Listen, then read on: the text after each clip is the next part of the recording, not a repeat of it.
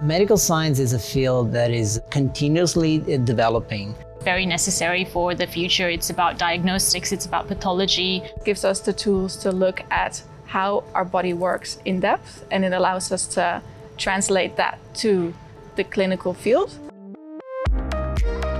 The Master in Medical Laboratory Science is a new course offering practitioners in the uh, diagnostic pathologies the opportunities to improve the know-how and technical expertise so they can reach a higher, more senior position. In terms of a lot of the diseases that are happening, especially with the recent pandemic, it's really placed a spotlight on how necessary pathology and diagnostics is in healthcare, which is why I think working in medical science and studying it really is very significant for the future.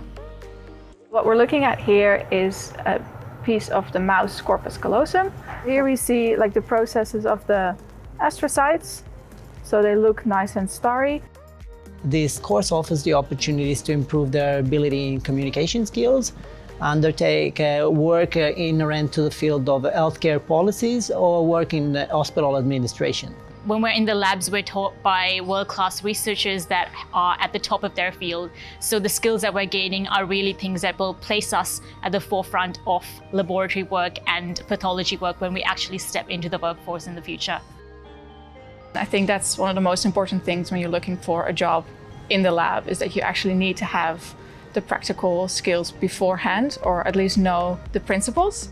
And here you're learning that very well and in depth.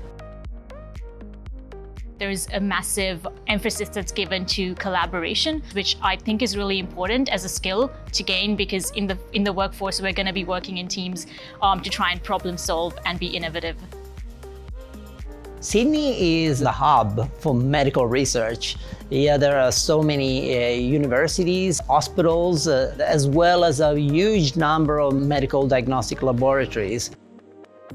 We're proud to have one of the biggest super lab which offers a space for more than 200 students. All these are equipped with state-of-the-art uh, audiovisual equipment, uh, breakout rooms, and uh, of course a lot of teaching and technical stuff to support. The most rewarding part of my job is that ability to see the students growing, learning new skills, but most importantly, become professionals that will be ready to work.